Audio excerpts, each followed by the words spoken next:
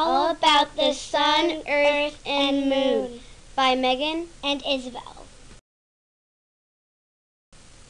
Day and night happens when you are facing away from the sun. That is night. Day is when you are facing towards the sun. Seasons.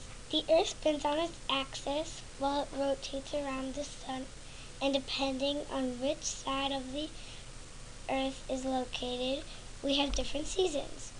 The earth's axis, axis is tilted so whichever side it tilts by gets more sun, and whichever side is farther from the sun gets winter. Lunar eclipse. A lunar eclipse is the moon is when the moon is completely blocked by the earth's shadow and so it turns red. Solar eclipse. Have you ever wondered what a solar eclipse was?